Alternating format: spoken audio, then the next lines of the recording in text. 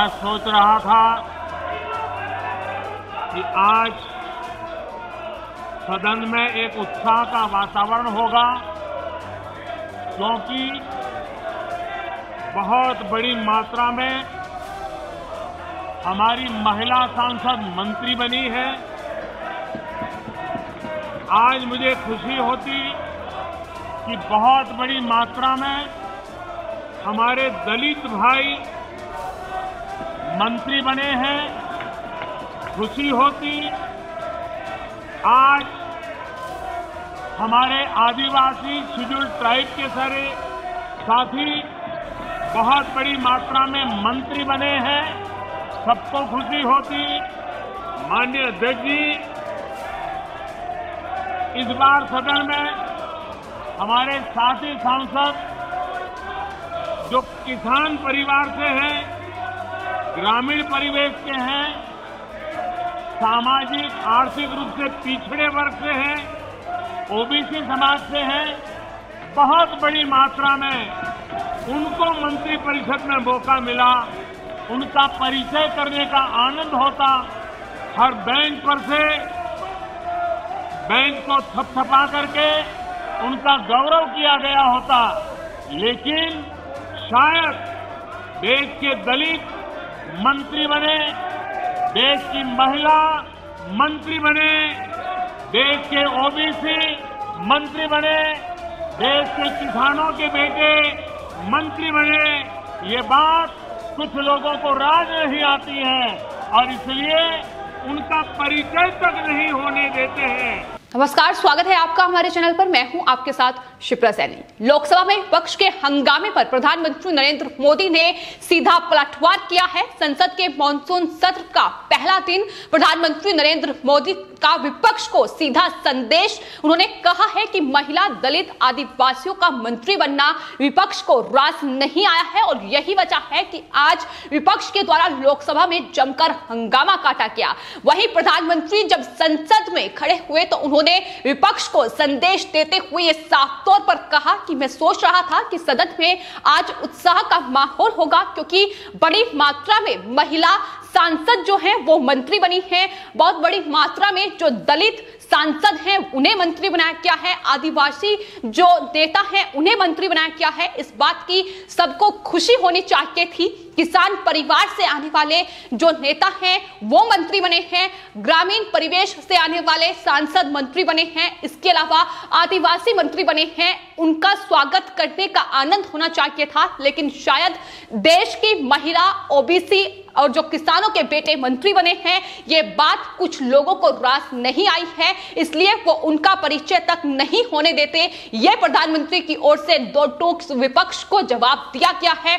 पलटवार किया गया है। ज़ाहिर तौर पर संसद के मानसून सत्र की शुरुआत हुई है, लेकिन यह शुरुआत जिसमें विपक्ष का भारी हंगामा लोकसभा में देखने को मिला, यहाँ तक कि जिन नए मंत्रियों को मंत्रिमंडल में शामिल किया गया है, जिन नए सांसदों को मंत्री बनाया गया है, उन्हें परिचय देने का मौका भी विपक्ष के लोगों ने नहीं दिया। और यही वजह है कि प्रधानमंत्री नरेंद्र मोदी ने विपक्ष पर यह सीधा पलटवार किया है। प्रधानमंत्री ने दो टूक ये कहा है कि विपक्ष का जो रवैया है, वो महिला विरोधी है। नए मंत्रियों का विपक्ष को सम्मान करना चाहिए, लेकिन जिस तरीके से वो हंगामा बरपा रहे हैं, जिस तरीके से विरोध कर रहे हैं, वो साफ़ तौर पर दिखा रहा है कि ये जो विपक्ष है, ये किसान विरोधी है, ये महिला विरोधी है, ये दलित विरोधी है और ये आदिवासी विरोधी भी है, क्योंकि कैबिनेट का विस्तार हुआ है और ज़ाहिर तौर पर बड़ी संख्या में नए चेहरों को मौका दिया गया है, जिसमें महिला महिला सांसद हैं, जिसमें आदिवासी हैं, दलित सांसद हैं, जिन्हें मंत्रिमंडल में शामिल किया गया है, जो अपने आप में एक बहुत बड़ी बात है, लेकिन विपक्ष इस पूरे फैसले का स्वागत करने के बजाय जिस तरीके से लोकसभा में हंगामा किया गया, वो साफ़ तौर पर दिखा रहा है कि ये जिस तरीके से कृषि कानूनों को लेकर विरोध कर रहे हैं, ये तमाम चीज़ें ढोंग नज़र आती है जब ये एक आ, किसान आ, सांसद जो मंत्री बना है उसका स्वागत नहीं करते हैं। जब एक दलित सांसद जो मंत्री बना है उसका स्वागत नहीं करते हैं। तो ज़ाहिर तौर पर यही हंगामा है जो मानसून सत्र के आ, पहले दिन सदन में देखने को मिला। हालाँकि लोकसभा की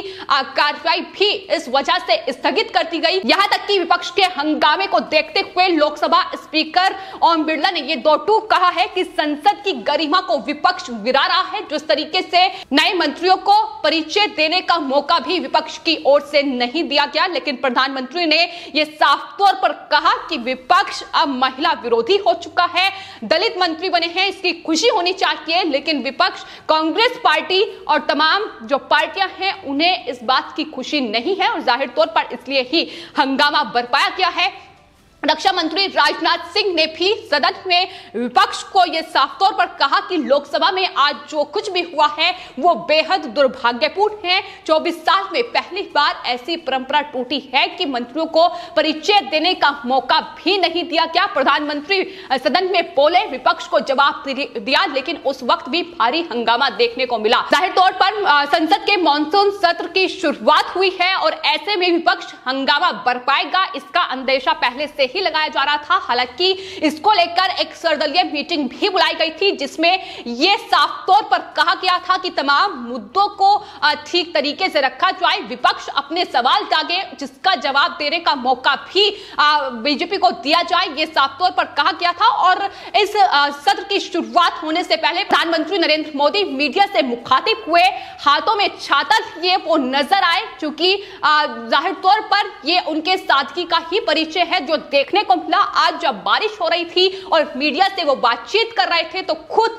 हाथों में छाता लिए प्रधानमंत्री नज़र आए और इसके अलावा एक दूसरी ओर एक ऐसे प्रधानमंत्री रहे हैं, मनमोहन सिंह, जिनके सुरक्षा बल उनके लिए हाथों में छाता लेकर चलते थे। तो ये भी एक सादगी का जो परिचय है, वो आज प्रधानमंत्री नरेंद्र मोदी की ओर से देखने को मिला। प्रधानमंत्री नरेंद्र मोदी ने मीडिया से बातचीत करते भी विपक्ष को साफ़ तौर पर यह चैलेंज दिया कि जिसे बाहों में टीका लग जाता है, वो बाहुबली बन जाता है। यानी वैक्सीनेशन का ज़िक्र उनकी तरफ़ से किया गया। प्रधानमंत्री नरेंद्र मोदी ने कहा कि वैक्सीन लगवाने वालों की जो तुलना है, उन्होंने बाहुबली से की है। साथ ही विपक्ष को संयम बरतने की चेतावनी भी प्रधानमंत्री नरेंद्र मोदी की ओर से दी गई। उन्होंने कहा कि कोविड के खिलाफ लड़ाई में 40 करोड़ से ज़्यादा लोग बाहुबली बन गए हैं, जिन्होंने वैक्सीन लगवाई है।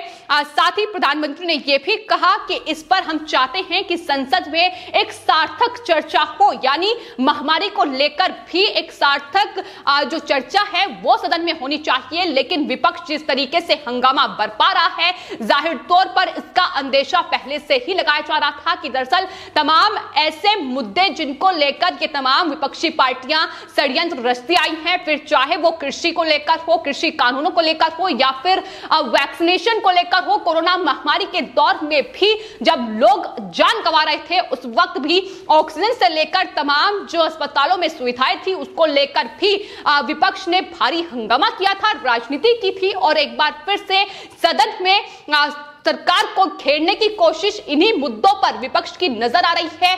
कृषि कानून जिसको लेकर विपक्ष लगातार किसानों में भन फैला रहा है, ये कितना ढोंग है, इसका अंदाज़ा इसी बात से लगाया जा सकता है कि दरअसल एक तरफ़ कृषि कानूनों को लेकर किसानों को लेकर सदन में विपक्ष कांग्रेस पार्टी हंगामा कर रही है लेकिन उन्हीं किसानों के जब सांसद जब आ, बेटे मंत्री बन रहे हैं तो उस पर खुशी ज़ाहिर नहीं कर रही है। तो ये साफ़ तौर पर दिखा रहा है कि अपनी राजनीति को चमकाने के लिए कितना बड़ा ढोंग जो है वो कांग्रेस पार्टी और तमाम विपक्षी पार्टियाँ रच रही है। हालाँकि प्रधानमंत्री नरेंद्र मोदी ने मीडिया के चर्चे विपक्ष से यह साफ़ तौर पर कहा कि सभी सांसदों और सभी दलों से वो आग्रह करना चाहते हैं, वे सदन में सबसे कठिन और तीखे सवाल पूछे, लेकिन सरकार को भी अनुशासित माहौल में जवाब देने की अनुमति होनी चाहिए। इससे लोकतंत्र को बढ़ावा मिलेगा, लोगों का विश्वास मज़बूत होगा और विकास की गति में सुधार होगा। ज़ाहिर तौर पर अगर मानसून के इस सत्र में विपक्ष इस तरीके से हंगामा बर पाएगा,